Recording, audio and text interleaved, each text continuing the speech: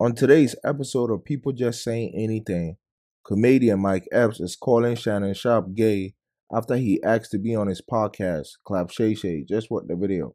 That nigga Shannon Sharpe called me trying to do an interview. I said, no, Madea, I ain't doing no interview. So you can sit across from me and look at my balls. I'm sitting down, nigga. Thought he was gonna attack Katt, that nigga there. Nigga shit is called Shay Shay. The nigga's telling you. Put a wig on that nigga tell me if that ain't motherfucking Madea's sister, nigga. They exposing every motherfucking body. They got TD Jakes fucked up. Now that's fucked up.